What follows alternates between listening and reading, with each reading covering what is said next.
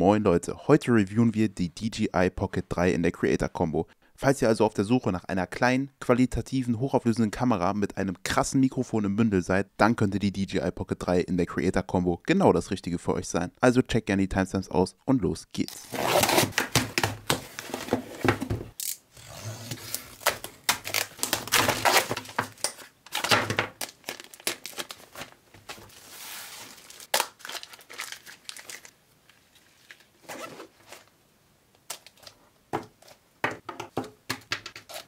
Okay, hier liegt natürlich selber die Pocket 3 bei, ein Akkugriff, ein 1 Viertel Zoll Schraubadapter, ein Mini-Stativ, ein Ladekabel, ein Travel Case sowie eine dazugehörige Hartschale, ein Funkmikrofon, als auch ein Magnet, den man dazu benutzen kann, um das Mikrofon an der Kleidung zu befestigen. Soweit habe ich einen sehr guten ersten Eindruck von allem.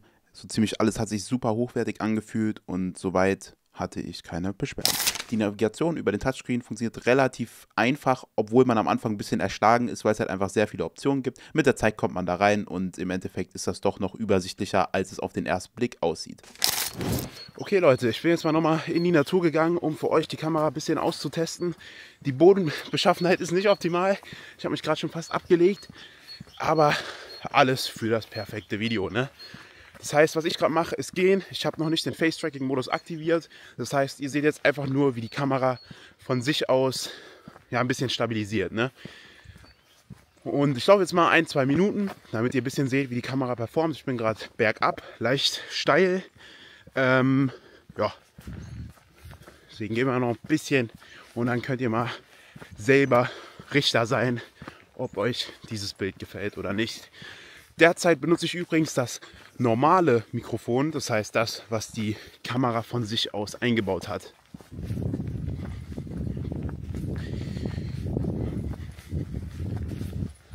Okay, das ist cool. Guckt euch den Kollegen an. Oh mein Gott. Nee. Das ist crazy. Guckt euch den kleinen Racker an. Dass er überhaupt nicht wegläuft. Der hat ja gar keine Angst vor mir. Obwohl ich Angst vor ihnen habe. Wisst ihr, die können mich einfach wirklich richtig hops nehmen. Also ein Tritt, mein Leben ist vorbei. Bricht mir mein Genick oder so. Die sehen nett aus, aber ich würde würd keinem Pferd über den Weg trauen. Lass mich einfach in Ruhe, okay? Ich habe nichts gemacht. Ich habe nichts gemacht, wirklich. Ich guck mich an wie im Bus. Nicht umdrehen, Kollege. Jetzt. Ich gehe zurück. Ich habe keinen Bock. Der Typ macht mir Angst, wirklich. Ja, genau, geh weg.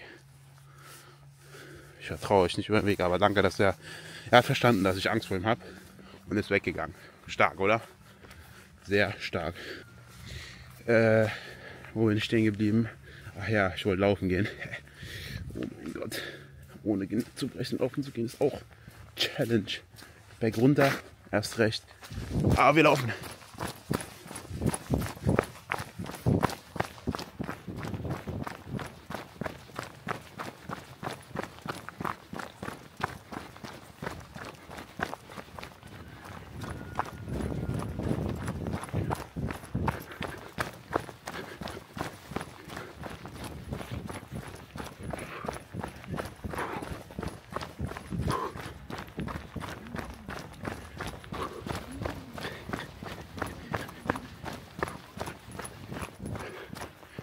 Okay, ihr habt gesehen, wie der Gimbal performt beim Laufen. Ich werde es erst im Nachhinein nochmal richtig begutachten können.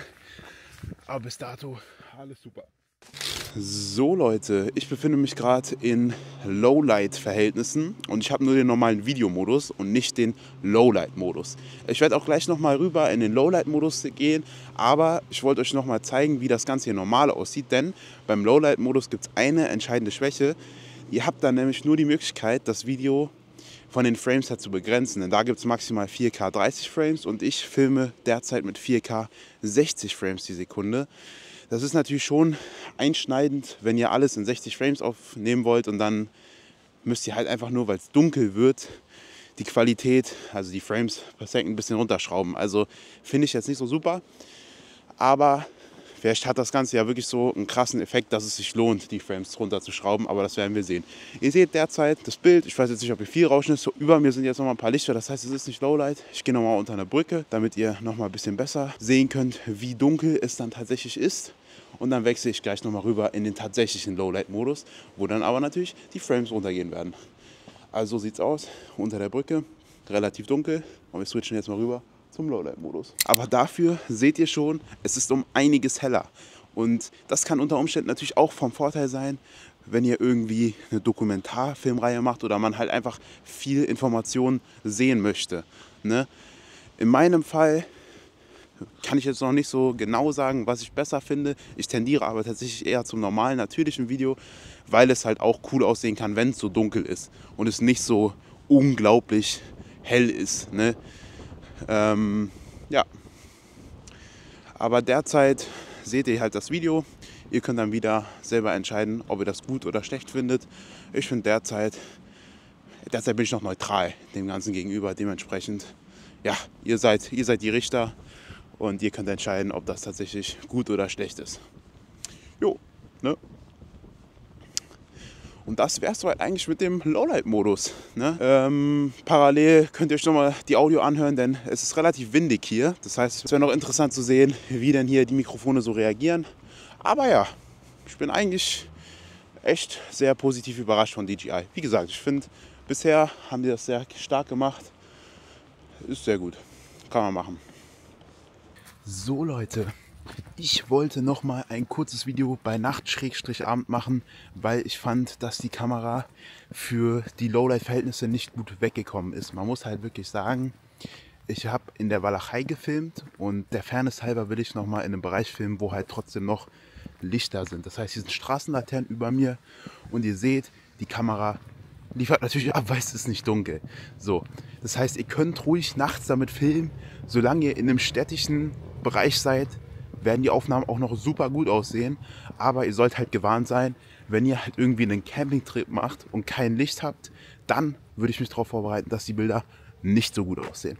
Die Aufnahme, die ihr jetzt im Hintergrund seht, ist, wie ich einfach mit dem Face-Tracking-Modus, der aktiviert ist, etwas herumlaufe, meinen Arm hin und her schwenke, um einfach zu schauen, bleibe ich im Zentrum des Bildes und ich bin zu dem Ergebnis gekommen, der Face-Tracking-Modus erledigt das sehr gut, wenn ich sehr nah bin, auch wenn ich mittelweit entfernt bin, also so auf 10 Meter würde das Ding mich immer noch tracken, auf 20 Meter würde ich meine Hand schon nicht mehr dafür ins Feuer legen, aber auf nahe Distanzen funktioniert das Tracking wirklich sehr, sehr gut. Ja, hier habe ich halt die Kaffeemaschine gefilmt, ich kann jetzt nicht so viel dazu sagen, wir haben halt 240 FPS bei 1080p, da leidet ein bisschen die Qualität drunter, wenn ihr halt 4K haben wollt, müsst ihr halt dann mit 120 Frames per Second zurechtkommen. Ja, ist okay, ist halt Slow Motion. Kann ich jetzt wirklich nicht viel zu sagen. Ne?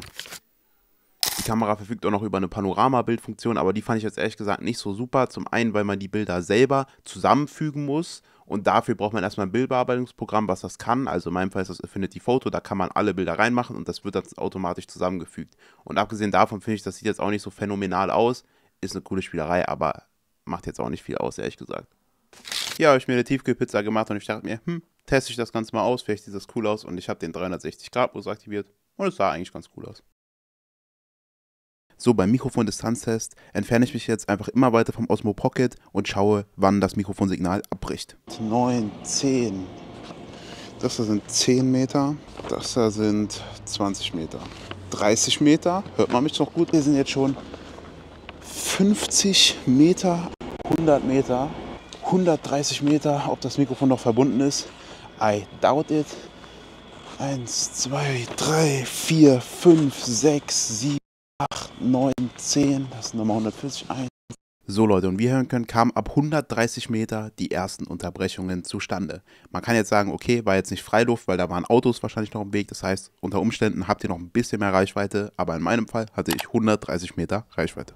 Das ist doch schon richtig stark, muss ich sagen. Zum Stativ kann ich jetzt wirklich nicht viel sagen, weil es hat seinen Job erledigt. Es steht, Insofern Daumen hoch DJI, ihr habt einen Artikel gebaut, der seinen Zweck erfüllt. Hier seht ihr nochmal die Weitwinkellinse. Falls ihr so aussehen wollt wie Simon Unger auf der Longboard-Tour, dann ist das vielleicht eine Option für euch. Ich persönlich fand den Look jetzt nicht crazy, aber wenn ihr halt viele Informationen auf ein Bild draufkriegen wollt, ist das natürlich auch eine gute Option. Und wenn ich hier schon im Auto bin und wie Simon Unger aussehe, dann kann ich euch noch gleich was über die Akkulaufzeit erzählen von den drei Geräten. Zum einen haben wir unser Mikrofon, das habe ich eigentlich gerade schon gesagt, aber ich sage es einfach nochmal, sechs Stunden kommt hin, würde ich sagen. Bei meiner Benutzung kann ich das so ungefähr bestätigen. Die Osmo Pocket an sich, also ohne den Akkugriff, hat circa zwei Stunden Akkulaufzeit und der Akkugriff, den ihr halt bei der Creator Combo dabei kriegt, hat nochmal etwa eine Stunde zusätzliche Filmzeit für euch und das alles bei 4K 60 FPS. Das heißt, wenn ihr den Akkugriff habt und die Osmo 3, dann könnt ihr circa drei Stunden bei 4K und 60 FPS filmen.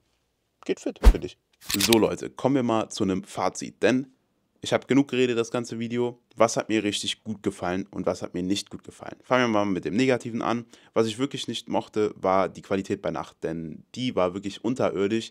Dieser Lowlight-Modus von der Kamera selbst sah wirklich nicht gut aus. Da kann ich nur mit dem Kopf schütteln. Und wenn man den normalen Videomodus auswählt, an einer Stelle, wo nicht viel Licht ist, dann erkennt man halt auch wirklich wenig. Also ist halt dem kleinen Sensor geschuldet, ein Zoll groß. Gut, was will man erwarten, aber ist halt trotzdem wirklich nicht gut. Also für 670 Euro finde ich das schon schwach, dass man da nicht noch mehr rausgeholt hat. Die andere Sache, gerade im Vergleich zu irgendwie einer GoPro oder so, ist natürlich die Wasserdichtigkeit, denn die ist halt nicht gegeben. Ne? Ich würde mich damit jetzt nicht in strömenden Regen stellen, denn dann habt ihr eure 670 Euro weggeworfen. Ne? Das ist halt auch so, ja, nicht so der Burner. Die andere Sache, die mich ein bisschen gestört hat, war die Größe des Bildschirms, weil ich habe große Hände. Hier mal eine Dose als Vergleich. Whip, so meine Hand ist so groß. Das hier ist eine Dose. So. Und es ist teilweise einfach ein bisschen schwierig, sich durchzunavigieren, wenn man halt große Finger hat. Ne? Das wollte ich einfach mal gesagt haben. Ist kein großes Manko, aber es sollte gesagt sein. Ja. Aber das war es eigentlich hauptsächlich mit dem Negativen. Abgesehen davon bin ich ein wirklich großer Fan von der Kamera geworden, jetzt in den zwei Wochen, wo ich sie getestet habe. Ich muss sagen, ich finde, tagsüber ist die Qualität wirklich phänomenal. Also ich war wirklich geflasht, als ich die Videos aus dem Wald gesehen habe, wo ich einfach in Richtung Licht gegangen bin. Es sah wirklich gut aus. Die Stabilisierung ist auch richtig, richtig gut. Also wirklich, die Kamera stabilisiert wie eine 1. Die Akkulaufzeit fand ich auch zufriedenstellend. Also ich finde drei Stunden inklusive Akkugriff von der Creative Combo gehen super fit. Und ganz ehrlich, diese Tracking-Funktion hier finde ich auch einfach cool. Also dieses, es ist halt mehr ein Gimmick, ne? Ich weiß nicht, wie oft man das benutzt, aber ich glaube, ich werde es in Zukunft in meinen Videos auch benutzen. Und was ich auch richtig mochte, war das Mikrofon, weil die Qualität stimmt hier. 230 Meter Reichweite, ohne Probleme, ohne Unterbrechungen. Ich habe schon schlechte Vorerfahrungen mit günstigeren Mikros gehabt für ca. 50 Euro und dieses Ding sieht nicht nur richtig gut aus, es liefert auch richtig ab. Deswegen kann man da wirklich nicht viel falsch machen. Das Einzige ist halt der Preis, 670 Euro. Scheint erstmal hoch, aber ich finde für das Gesamtpaket, was man hier bekommt, also für so ein Allrounder-Talent, finde ich das wirklich crazy. Also für eine stabilisierte Kamera mit guter Leistung, mit guter Qualität, bin ich wirklich begeistert. Also wenn ihr gerade mal so einsteigt ins Filme machen, dann würde ich euch die Kamera wirklich mal als Geheimtipp ans Herz legen, weil sie halt so klein ist, man fällt nicht so auf. Es ist, es ist crazy. Ihr könnt damit gut verreichen, äh, verreisen, ihr könnt die einfach in so eine Bauchtasche machen und dann zückt ihr die einfach. Es ist so schnell gemacht. Es ist wirklich einfach eine tolle Kamera. Also ich finde, da hat DJI gute Arbeit geleistet und da würde ich auch die Empfehlung aussprechen. Ich habe auch Links in der Beschreibung platziert, das heißt, schaut da mal rein. Und ja, das wäre es soweit mit dem Video. Ich hoffe, es hat euch gefallen. Ich hoffe, ihr konntet ein paar Learnings draus ziehen und ich hoffe natürlich, es war interessant. Lasst mir gerne Feedback in den Kommentaren da und bis zum nächsten Video. Ciao, ciao.